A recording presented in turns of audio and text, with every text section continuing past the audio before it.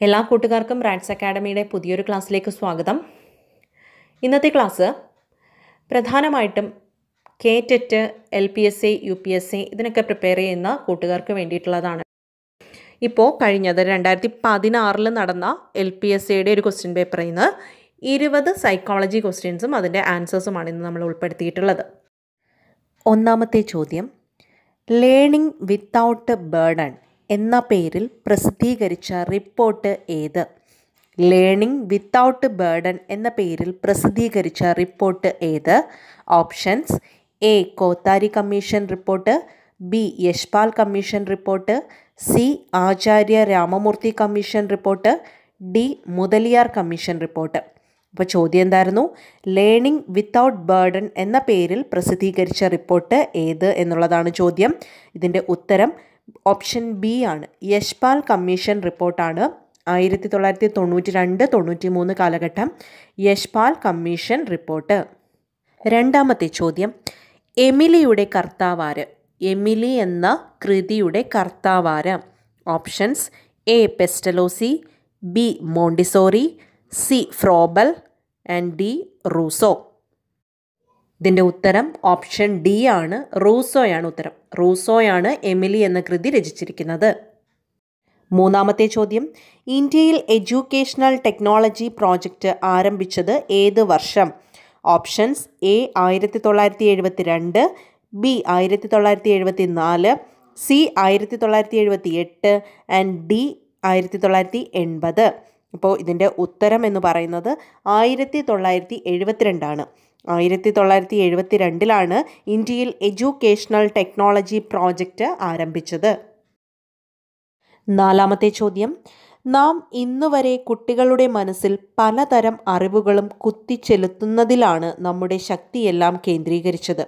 അവരുടെ മനസ്സിന് പ്രചോദനമോ വികാസമോ നൽകണമെന്ന് നാം ഒരിക്കലും വിചാരിച്ചിട്ടില്ല. ഇതൊരു കൊട്ടേഷനിൽ കിടക്കുന്ന ഒരു അഭിപ്രായമാണ്. ഇങ്ങനെ അഭിപ്രായപ്പെട്ടത് ആര് എന്നുള്ളതാണ് ചോദ്യം. അപ്പോൾ എന്താ പറഞ്ഞത്? നാം ഇന്ന് വരെ കുട്ടികളുടെ മനസ്സിൽ പലതരം അറിവുകളും കുത്തിച്ചെലുത്തുന്നതിലാണ് നമ്മുടെ ശക്തിയെല്ലാം കേന്ദ്രീകരിച്ചത്.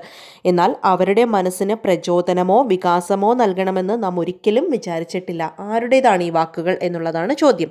Options A. Gandhiji B. Tagore C. Vivekanandan and D. Aurobindo Ghosh. അപ്പോൾ ഇതിന്റെ ഉത്തരം ഓപ്ഷൻ എ ആണ്. ഗാന്ധിജിയാണ് ഇത്തരത്തിൽ അഭിപ്രായപ്പെട്ടിരിക്കുന്നത്. അഞ്ചാമത്തെ ചോദ്യം. ജെറോം എസ് ബ്രൂണർ ആശയ രൂപീകരണവുമായി ബന്ധപ്പെട്ട് മുന്നോട്ട് വെച്ച പഠനഘട്ടങ്ങളിൽ പെടാത്തത്. അപ്പോൾ താഴെ നാല് ഓപ്ഷനിൽ നാല് ഘട്ടങ്ങൾ തന്നിട്ടുണ്ട്. അതിൽ ബ്രൂണറുടെ ആശയ രൂപീകരണവുമായി ബന്ധപ്പെട്ടുള്ള പഠനഘട്ടങ്ങളിൽ ഉൾപ്പെടാത്തത് ഏതാണെന്നാണ് ചോദ്യം. അപ്പോൾ ഇത്തരത്തിലുള്ള ചോദ്യങ്ങൾ വരുമ്പോൾ ഒന്ന് ശ്രദ്ധിക്കണം. ഇതുപോലെ ഓപ്ഷൻസ് തന്നിട്ട് അതിൽ ഉൾപ്പെടുന്നത് ഏത് ഉൾപ്പെടാത്തത് ഏത് എന്നിങ്ങനെ ചോദിക്കുമ്പോൾ നമുക്കൊരു കൺഫ്യൂഷൻ വരാൻ പാടില്ല. അപ്പോൾ ഇവിടെ ചോദിച്ചേക്കുന്ന നാല് ഓപ്ഷൻസിലും കൂട്ടത്തിൽ പെടാത്തത് അല്ലേ? അവ പഠനഘട്ടങ്ങളിൽ ഉൾപ്പെടാത്തത് എന്നുള്ളതാണ് ചോദ്യം. ഓപ്ഷൻസ് നോക്കിക്കേ.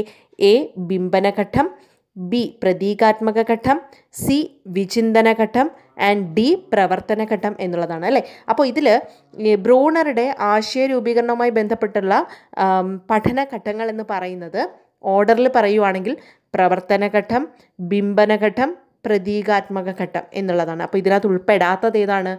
ഓപ്ഷൻ സി ആണ്. വിചിന്തന ഘട്ടമാണ് ഉൾപ്പെടാത്തത്. ആറാമത്തെ ചോദ്യം. ഒരു വെറൈറ്റി ചോദ്യമാണ്. ഒന്ന് ശ്രദ്ധിച്ചേ. നാലാം ക്ലാസ്സിൽ പഠിക്കുന്ന സാനിയ ആരുമായും കൂട്ടുകൂടാറില്ല. പൊതുവെ ഒറ്റയ്ക്കിരിക്കാൻ താല്പര്യപ്പെടുന്നു. ചില സന്ദർഭങ്ങളിൽ വിതുമ്പിക്കരയും. ആ കുട്ടിയെക്കുറിച്ച് കൂടുതൽ കാര്യങ്ങൾ മനസ്സിലാക്കാൻ ക്ലാസ് ടീച്ചറായ നിങ്ങൾ തീരുമാനിക്കുന്നു. ഏത് മനഃശാസ്ത്ര പഠന രീതിയായിരിക്കും നിങ്ങൾ അവലംബിക്കുന്നത്? അപ്പോൾ ഒരു ടീച്ചർ ഒരു അധ്യാപകൻ അല്ലെങ്കിൽ ഒരു അധ്യാപിക എന്നുള്ള നിലയ്ക്ക് ഏത് രീതിയിലായിരിക്കും ആ കുട്ടിയുടെ പ്രശ്നത്തിന് നിങ്ങൾ പരിഹാരം കണ്ടെത്തുക എന്നുള്ളതാണ് ഈ ചോദ്യം. അപ്പോൾ ഓപ്ഷൻസ് നോക്കിക്കേ. എ അഭിമുഖം. ബി നിരീക്ഷണം.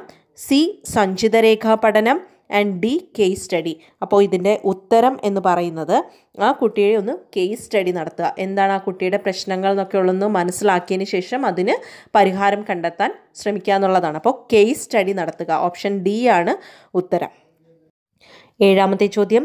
ക്ലാസ് റൂം ബോധനത്തിൽ ഏറെ പ്രയോജനപ്പെടുത്തുന്ന ആശയ ഭൂപടം എന്ന സങ്കേതം വികസിപ്പിച്ചെടുക്കുന്നതിന് നേതൃത്വം നൽകിയതാര് options A R S Woodworth B Joseph D Novak C J L Moreno and D Stephen M Corey. അപ്പോൾ ആശയ ഭൂപടം എന്ന് പറഞ്ഞ ഒരു സങ്കേതം വികസിപ്പിച്ചെടുക്കുന്നതിന് നേതൃത്വം നൽകിയ വ്യക്തി എന്ന് പറയുന്നത് ഓപ്ഷൻ ബി ആണ് ഉത്തരം. ജോസഫ് ഡി നോവാക്കാണ് ശരിയായിട്ടുള്ള ഉത്തരം. എട്ടാമത്തെ ചോദ്യം. അഞ്ചാം ക്ലാസ്സിലെ ഒരു ഡിവിഷനിലെ നാൽപ്പത്തിയൊന്ന് കുട്ടികളിൽ പന്ത്രണ്ട് പേരും മലയാളത്തിലെ സ്വരചിഹ്നങ്ങൾ തെറ്റിച്ചും പരസ്പരം മാറിയും എഴുതുന്നു. ടീച്ചർ എന്ന നിലയിൽ ഇത് പരിഹരിക്കാൻ നിങ്ങൾ അവലംബിക്കുന്ന ശാസ്ത്രീയ മാർഗം ഏതാണ്? ക്വസ്റ്റ്യൻ ക്ലിയർ ആണേ. Options A team teaching. Option B ക്രിയാ ഗവേഷണം. Option C micro teaching. Option D ഇതൊന്നുമല്ല. അപ്പോൾ ഇതിന്റെ ഉത്തരം എന്ന് പറയുന്നത് ഓപ്ഷൻ ബി ആണ്. ക്രിയാ ഗവേഷണമാണ് ഇതിന്റെ ഉത്തരം. ഒൻപതാമത്തെ ചോദ്യം. Eric H. എറിക്സണിന്റെ മനോസാമൂഹിക വികാസ സിദ്ധാന്ത പ്രകാരം സ്കൂൾ പ്രായത്തിൽ അതായത് ആറ് മുതൽ പന്ത്രണ്ട് വയസ്സ് വരെയുള്ള കാലഘട്ടത്തിൽ നേരിടുന്ന പ്രതിസന്ധി താഴെ പറയുന്നതിൽ ഏതാണ്? അപ്പോൾ അവിടെ ആ പ്രായത്തിനാണ് ഈ പ്രാധാന്യം. ആറ് മുതൽ പന്ത്രണ്ട് വയസ്സ് വരെയുള്ള പ്രായത്തിൽ താഴെ പറയുന്നതിനകത്ത് ഏത് പ്രതിസന്ധിയാണ് അവർ നേരിടുന്നത്? കുട്ടികൾ നേരിടുന്നത് എന്നുള്ളതാണ് ചോദ്യം. ഓപ്ഷൻസ് എ ഊർജസ്വലത അപകർഷത ബി ഗാഠബന്ധം ഏകാഗത്വം സി വിശ്വാസം അവിശ്വാസം ആൻഡ് ഡി സ്വാശ്രയത്വം ലജ്ജ. അപ്പോൾ ഇതിന്റെ ഉത്തരം എന്ന് പറയുന്നത് ഓപ്ഷൻ എ ആണ് ഊർജസ്വലത അപകർഷത. പത്താമത്തെ ചോദ്യം വളരെ പ്രധാനപ്പെട്ട ഒരു ചോദ്യമാണ്. ജീൻ പിയാഷയുടെ അഭിപ്രായത്തിൽ ക്രമപ്പെടുത്തൽ അഥവാ സീരിയേഷൻ ഉഭയദിശീയ ചിന്ത അഥവാ റിവേഴ്സിബിലിറ്റി പകരൽ ചിന്ത അഥവാ ട്രാൻസിറ്റിവിറ്റി തുടങ്ങിയവ വികസിക്കുന്ന വൈജ്ഞാനിക വികാസ ഘട്ടം ഏത്? ഓപ്ഷൻസ് എ ഔപചാരിക മനോവ്യാപാര ഘട്ടം അഥവാ ഫോമൽ ഓപ്പറേഷണൽ സ്റ്റേജ് ബി രൂപാത്മക മനോവ്യാപാര ഘട്ടം അഥവാ കോൺക്രീറ്റ് ഓപ്പറേഷണൽ സ്റ്റേജ് സി ഇന്ദ്രിയ ചാലകഘട്ടം അഥവാ sensory motor stage and D പ്രാക് മനോവ്യാപാര ഘട്ടം അഥവാ പ്രീ ഓപ്പറേഷണൽ സ്റ്റേജ്. അപ്പോൾ ഈ പറഞ്ഞ ഓരോ ഘട്ടങ്ങളും എന്താണെന്നുള്ളത് അറിഞ്ഞാൽ മാത്രമേ നമുക്ക് ഇതിന്റെ ഉത്തരം എഴുതാൻ പറ്റുള്ളൂ. അപ്പോൾ ചോദ്യം അവിടെ നിൽക്കട്ടെ. അതിനു മുമ്പ് ഞാൻ ആ ഓപ്ഷൻസ് ജസ്റ്റ് ഒന്ന് പറഞ്ഞു വിടാം. ഇതിനകത്ത് ഇന്ദ്രിയ ചാലകഘട്ടം എന്ന് പറഞ്ഞു. ഇന്ദ്രിയ ചാലകഘട്ടം എന്ന് പറഞ്ഞു കഴിഞ്ഞാൽ ആദ്യത്തെ രണ്ട് വയസ്സ് വരെയുള്ള കുട്ടിയുടെ കാലഘട്ടത്തിനെയാണ് നമ്മൾ ഇന്ദ്രിയ ചാലകഘട്ടം എന്ന് പറയുന്നത്. ആദ്യത്തെ രണ്ട് വയസ്സ് വരെയുള്ളത്. അതിനുശേഷം പ്രാക് മനോവ്യാപാര ഘട്ടം അഥവാ പ്രീ ഓപ്പറേഷണൽ സ്റ്റേജ് എന്ന് വെച്ചാൽ രണ്ട് മുതൽ ഏഴ് വയസ്സ് വരെയുള്ള കാലഘട്ടം. അതുപോലെ തന്നെ രൂപാത്മക മനോവ്യാപാര ഘട്ടം അഥവാ കോൺക്രീറ്റ് ഓപ്പറേഷണൽ സ്റ്റേജ് എന്ന് പറഞ്ഞു കഴിഞ്ഞാൽ അതിന് മൂർത്ത മനോവ്യാപാര ഘട്ടം എന്നും പറയാറുണ്ട് കേട്ടോ. എന്ന് വെച്ചാൽ അത് ഏഴ് മുതൽ പതിനൊന്ന് വയസ്സ് വരെയുള്ള കാലഘട്ടമാണ്. അതേപോലെ ഔപചാരിക മനോവ്യാപാര ഘട്ടം എന്ന് പറഞ്ഞാൽ അല്ലെങ്കിൽ ഫോമൽ ഓപ്പറേഷണൽ സ്റ്റേജ് എന്ന് പറഞ്ഞാൽ പതിനൊന്ന് വയസ്സ് മുതൽ പ്രായപൂർത്തിയാവുന്നത് വരെയുള്ള കാലഘട്ടം. അപ്പോൾ ഇങ്ങനെ കേൾക്കുമ്പോൾ ഇനി ആ ചോദ്യം ഒന്ന് ശ്രദ്ധിച്ചേ. ക്രമപ്പെടുത്തൽ ഉഭയദിശീയ ചിന്ത പകരൽ ചിന്ത എന്നൊക്കെ പറയുന്നത് ഏതൊരു ഇപ്പോൾ പ്രായം വെച്ചൊന്ന് ചിന്തിച്ച് നോക്കിക്കേ. നമ്മളിപ്പോൾ പറഞ്ഞ ആദ്യത്തെ രണ്ട് വയസ്സ് വരെയുള്ള കാലമാണോ രണ്ട് മുതൽ ഏഴ് വയസ്സ് വരെയുള്ളതാണോ ഏഴ് മുതൽ പതിനൊന്നാണോ അതോ പതിനൊന്ന് മുതൽ പ്രായപൂർത്തിയാവുന്നത് വരെയാണോ? ഇതിൽ നിന്ന് വ്യക്തമാണ്. ഏഴ് മുതൽ പതിനൊന്ന് വയസ്സ് വരെയുള്ള ആ കാലഘട്ടത്തിലാണ് ഇപ്പോൾ നമ്മൾ പറഞ്ഞ ക്രമപ്പെടുത്തൽ ഉഭയദിശീയ ചിന്ത പകരൽ ചിന്ത ഇതൊക്കെ തുടങ്ങുന്നത് അല്ലെങ്കിൽ വികസിക്കുന്നത്. തുടങ്ങുന്നതെന്ന് പറയാൻ പറ്റില്ല കേട്ടോ. വികസിക്കുന്നത്. ഈ പറഞ്ഞ കാര്യങ്ങളെല്ലാം വികാസം പ്രാപിക്കുന്നത് ഈ പറഞ്ഞ ഏഴ് മുതൽ പതിനൊന്ന് വയസ്സ് വരെയുള്ള കാലഘട്ടം. അപ്പോൾ അതിനെ എന്താ വിളിക്കുന്നത്? ആ ഒരു ഘട്ടത്തിനെ നമ്മൾ എന്താ വിളിക്കുന്നത്? ഒന്നെങ്കിൽ മൂർത്ത മനോവ്യാപാര ഘട്ടം അല്ലെങ്കിൽ രൂപാത്മക മനോവ്യാപാര ഘട്ടം. രണ്ടും ഒന്ന് തന്നെയാണ് ഇംഗ്ലീഷിൽ കോൺക്രീറ്റ് ഓപ്പറേഷണൽ സ്റ്റേജ്. വ്യക്തമാണല്ലോ? പതിനൊന്നാമത്തെ ചോദ്യം. ഗസ്റ്റാൾട്ട് മനഃശാസ്ത്രത്തെ പിന്തുടരുന്ന ഒരു ടീച്ചർ ക്ലാസ്സിൽ അനുവർത്തിക്കാത്ത സമീപനം. ചോദ്യം ഒന്നുകൂടെ ഗസ്റ്റാൾട്ട് മനഃശാസ്ത്രത്തെ പിന്തുടരുന്ന ഒരു ടീച്ചർ ക്ലാസ്സിൽ അനുവർത്തിക്കാത്ത സമീപനം. അപ്പോൾ ക്ലാസ്സിൽ ആ ടീച്ചർ ചെയ്യാത്ത കാര്യമാണ് ചോദിക്കുന്നത്. ക്ലിയർ ആണല്ലോ? നാല് ഓപ്ഷൻസ്. ഓപ്ഷൻ എ ആശയത്തെ സമഗ്രമായി അവതരിപ്പിക്കൽ. ഓപ്ഷൻ ബി അന്തർദൃഷ്ടി പഠനത്തെ പ്രോത്സാഹിപ്പിക്കൽ. ഓപ്ഷൻ സി പ്രശ്ന അപഗ്രഥനത്തിന് സഹായിക്കൽ ഓപ്ഷൻ ഡി ആവർത്തനത്തിന് ഊന്നൽ നൽകൽ. അപ്പോൾ എന്തായിരിക്കും അതിന്റെ ഉത്തരം? ഗസ്റ്റാൾട്ട് മനഃശാസ്ത്രത്തെയാണ് ആ ടീച്ചർ പിന്തുടരുന്നത്. അപ്പോൾ ഇതിന്റെ ഉത്തരമായിട്ട് വരുന്നത് ഓപ്ഷൻ ഡി ആണ്. അതായത് ആവർത്തനത്തിന് ഊന്നൽ നൽകൽ എന്നുള്ള കാര്യം ആ ടീച്ചർ ചെയ്യില്ല. പന്ത്രണ്ടാമത്തെ ചോദ്യം വ്യക്തിത്വത്തെ സ്വാധീനിക്കുന്ന സാഹചര്യ ഘടകം അഥവാ എൻവിയോൺമെന്റൽ ഫാക്ടർ ഏത്? ഇപ്പോൾ താഴെ നാല് ഓപ്ഷൻസിനകത്തുനിന്ന് സാഹചര്യ ഘടകം വ്യക്തിത്വത്തെ സ്വാധീനിക്കുന്ന സാഹചര്യ ഘടകം ഏതാണെന്നുള്ളത് കണ്ടെത്തണം. ഓപ്ഷൻ എ ഗ്രന്ഥി വ്യവസ്ഥ. ഓപ്ഷൻ ബി ശാരീരികാവസ്ഥ. ഓപ്ഷൻ സി കുടുംബം. ഓപ്ഷൻ ഡി പാരമ്പര്യം. അപ്പോൾ ഇതിന്റെ ഉത്തരം ഓപ്ഷൻ സി കുടുംബമാണ്. സാഹചര്യ ഘടകത്തിനകത്ത് വരുന്നത് ഓപ്ഷൻ സി കുടുംബമാണ്. പതിമൂന്നാമത്തെ ചോദ്യം. ഒരു വ്യക്തി ഗണിതത്തിൽ പ്രകടിപ്പിക്കുന്ന ബുദ്ധി പൊതുവായ ബുദ്ധിയുടെയും ഗണിതത്തിലെ പ്രത്യേക ബുദ്ധിയുടെയും സങ്കല്പിത ഫലമാണ്. ഈ പറഞ്ഞ പ്രസ്താവന താഴെ പറയുന്ന ഏത് ബുദ്ധി സിദ്ധാന്തവുമായി ബന്ധപ്പെട്ടിരിക്കുന്നു. അപ്പോൾ താഴെ നാല് ബുദ്ധി സിദ്ധാന്തങ്ങൾ തന്നിട്ടുണ്ട് നമ്മളിപ്പോൾ പറഞ്ഞ കാര്യം അതായത് ഒരാൾക്ക് ഗണിതത്തിൽ അയാൾ പ്രകടിപ്പിക്കുന്ന ബുദ്ധി എന്ന് പറയുന്നത് അയാളുടെ പൊതുവായ ബുദ്ധിയുടെയും ഗണിതത്തിലെ പ്രത്യേക ബുദ്ധിയുടെയും സങ്കല്പിത ഫലമാണ് എന്ന് പറയുന്നത്. ഏത് സിദ്ധാന്തവുമായിട്ടാണ് ബന്ധപ്പെട്ടിരിക്കുന്നത്? ഓപ്ഷൻ എ ബഹുഘടക സിദ്ധാന്തം അഥവാ multi factor theory. Option B ദ്വിഘടക സിദ്ധാന്തം അഥവാ two factor theory. Option C മനോഘടക സിദ്ധാന്തം അഥവാ mental faculty theory option D സംഘഘടക സിദ്ധാന്തം അഥവാ ഗ്രൂപ്പ് ഫാക്ടർ തിയറി അപ്പോൾ ഒന്ന് ഓർക്കാൻ വേണ്ടിയിട്ട് ഒരു എളുപ്പത്തിന് വേണ്ടിയിട്ട് ഇപ്പം നമ്മൾ ഈ ക്വസ്റ്റ്യൻ പറഞ്ഞപ്പോൾ അതിനകത്ത് രണ്ട് കാര്യങ്ങൾ കൂടിച്ചിരുന്ന രണ്ടെണ്ണം എന്നുള്ള രീതി വെച്ചിട്ടല്ലേ? ആൻസർ എന്ത് പറയാം നമുക്ക്? ഓപ്ഷൻ ബി ആണ്. ദ്വിഘടക സിദ്ധാന്തം അഥവാ ടു ഫാക്ടർ തിയറിയാണ് ഇതിന്റെ ഉത്തരം. പതിനാലാമത്തെ ചോദ്യം ദേശീയ അധ്യാപക ദിനം എന്ന്. ദേശീയ അധ്യാപക ദിനം എന്ന്. ഓപ്ഷൻസ് എ സെപ്റ്റംബർ അഞ്ച്. ഓപ്ഷൻ ബി ഒക്ടോബർ അഞ്ച്. സി ഡിസംബർ പതിനേഴ്. ഓപ്ഷൻ ഡി ജൂലൈ അഞ്ച്. ഏതാണ് ഉത്തരം? ഓപ്ഷൻ എ ആണ്. സെപ്റ്റംബർ അഞ്ചാണ് ദേശീയ അധ്യാപക ദിനമായി ആചരിക്കുന്നത്. ആരുടെ ജന്മദിനമാണ് ഇങ്ങനെ ആചരിക്കുന്നത്? ഡോക്ടർ എസ് രാധാകൃഷ്ണൻ അദ്ദേഹത്തിന്റെ ജന്മദിനമാണ് ദേശീയ അധ്യാപക ദിനമായി ആചരിക്കുന്നത്. സെപ്റ്റംബർ അഞ്ചിന്. പതിനഞ്ചാമത്തെ ചോദ്യം. എബ്രഹാം മാസ്ലോയുടെ ആവശ്യങ്ങളുടെ ശ്രേണിയിൽ സുരക്ഷിതത്വവുമായി ബന്ധപ്പെട്ട ആവശ്യങ്ങൾക്കും അഭിമാനബോധവുമായി ബന്ധപ്പെട്ട ആവശ്യങ്ങൾക്കും ഇടയിൽ ക്രമീകരിച്ചിട്ടുള്ളത് എന്താണ്? ചോദ്യം ക്ലിയർ ആണോ? എബ്രഹാം മാസ്ലോയുടെ ആവശ്യങ്ങളുടെ ശ്രേണിയിൽ സുരക്ഷിതത്വവുമായി ബന്ധപ്പെട്ട ആവശ്യങ്ങൾക്കും അഭിമാനബോധവുമായി ബന്ധപ്പെട്ട ആവശ്യങ്ങൾക്കും ഇടയിൽ ക്രമീകരിച്ചിട്ടുള്ളത് എന്താണ്? ഓപ്ഷൻസ് നോക്കാം. എ വൈജ്ഞാനിക ആവശ്യങ്ങൾ. ബി ശാരീരിക ആവശ്യങ്ങൾ. സി ആത്മസാക്ഷാത്കാരവുമായി ബന്ധപ്പെട്ട ആവശ്യങ്ങൾ ഡി സ്നേഹവുമായി ബന്ധപ്പെട്ട ആവശ്യങ്ങൾ. അപ്പോൾ ഒന്ന് ജസ്റ്റ് ഒന്ന് പറയാം.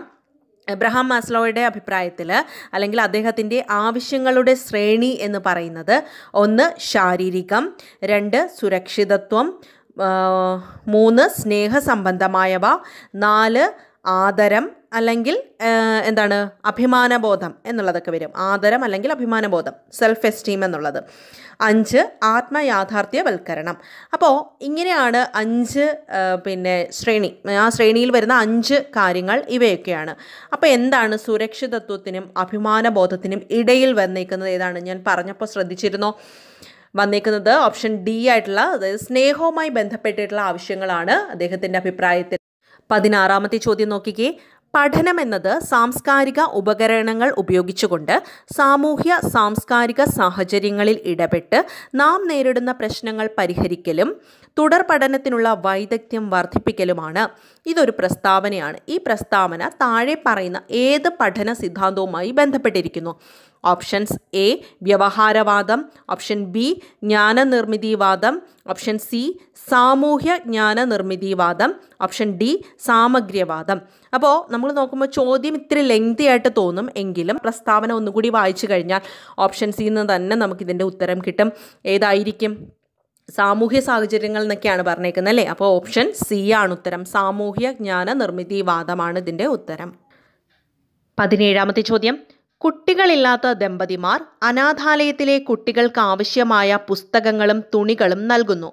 ഇത് ഏത് സമയോജന ക്രിയാതന്ത്രമായി പരിഗണിക്കാം? ഓപ്ഷൻസ് എ ദമനം ബി യുക്തീകരണം സി ഉദാത്തീകരണം ഡി വിനിവർത്തനം. എന്തായിരുന്നു പറഞ്ഞത്? കുട്ടികളില്ലാത്ത ദമ്പതിമാർ അനാഥാലയത്തിലെ കുട്ടികൾക്ക് ആവശ്യമായ പുസ്തകങ്ങളും തുണികളും ഒക്കെ നൽകുന്നു. ഈ ഒരു പ്രവണത ഈ ഒരു പ്രവൃത്തിയെ ഏത് സമയോജന ക്രിയാതന്ത്രമായി പരിഗണിക്കാമെന്നുള്ളതാണ് ചോദ്യം. ഓപ്ഷൻസ് കണ്ടു. ഇതിന്റെ ഉത്തരം എന്ന് പറയുന്നത് ഓപ്ഷൻ സി ആണ്. ഉദാത്തീകരണം. ഉദാത്തീകരണം.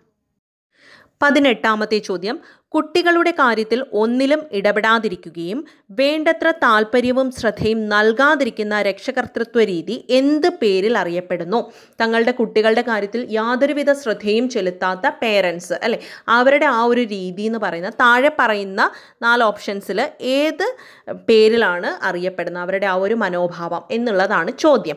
ഓപ്ഷൻസ് ഒന്ന് നോക്കിക്കേ.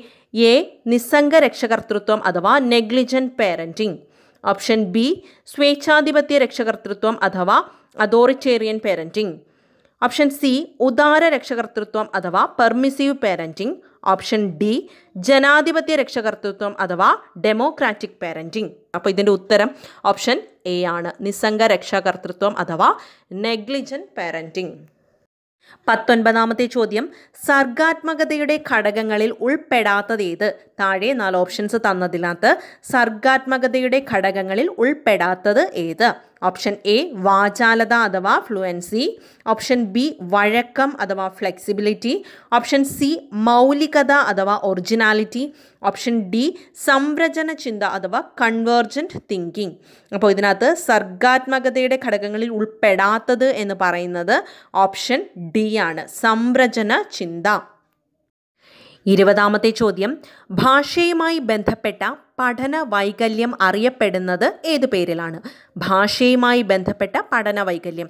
താഴെ നാല് ഓപ്ഷൻസ് ഉണ്ട്. ഏതൊക്കെയാണ്? Option A dysgraphia option B dyslexia option C dyscalculia option D dyspraxia അപ്പോൾ ഇതിനകത്ത് എന്താണെന്ന് പറഞ്ഞാൽ എന്ത് ഏത് പഠന വൈകല്യമാണ് ഭാഷ ഭാഷയുമായി ബന്ധപ്പെട്ട പഠന വൈകല്യം? അപ്പോൾ ഭാഷയുമായി ബന്ധപ്പെട്ടത് ഓപ്ഷൻ ബി ആണ് ഡിസ്ലെക്സിയ. അപ്പോൾ മറ്റുള്ളതും കൂടി ഒന്ന് പറഞ്ഞേക്കാം. അതായത് ഡിസ്ഗ്രാഫിയ പറഞ്ഞല്ലേ? ഡിസ്ഗ്രാഫിയ എന്ന് പറഞ്ഞു കഴിഞ്ഞാൽ എഴുതാനുള്ള വൈകല്യമാണ്. റൈറ്റിംഗ് ഡിസോർഡർ ആണ് ഡിസ്ഗ്രാഫിയ. അതുപോലെ തന്നെ ഡിസ്കാൽക്കുലിയ എന്ന് പറഞ്ഞാൽ ഗണിതത്തിലുള്ള ബുദ്ധിമുട്ടാണ്. മാത്തമാറ്റിക്കൽ ഡിസോർഡർ ആണ് ഡിസ്കാൽക്കുലിയ എന്നറിയപ്പെടുന്നത്. പിന്നെന്തായിരുന്നു പറഞ്ഞത്? ഡിസ്പ്രാക്സിയ എന്ന് വച്ചാൽ പേശി പ്രവർത്തനങ്ങളിലെ പ്രശ്നങ്ങളാണ്. അതായത് മോട്ടോർ കോർഡിനേഷൻ ഡിസോർഡർ ആണ് ഡിസ്പ്രാക്സിയ എന്ന് അറിയപ്പെടുന്നത്. ക്ലിയർ ആയല്ലോ? അപ്പോൾ ഭാഷയുമായി ബന്ധപ്പെട്ട പഠന വൈകല്യമാണ് ഡിസ്ലെക്സിയ അപ്പോൾ സൈക്കോളജിയിലെ വളരെ ഇമ്പോർട്ടന്റ് ആയിട്ടുള്ള ഒരു ഇരുപത് ക്വസ്റ്റ്യനും അതിന്റെ ആൻസേഴ്സുമാണ് നമ്മൾ ഇന്നത്തെ ക്ലാസ്സിൽ ഡിസ്കസ് ചെയ്തത്. Thank very much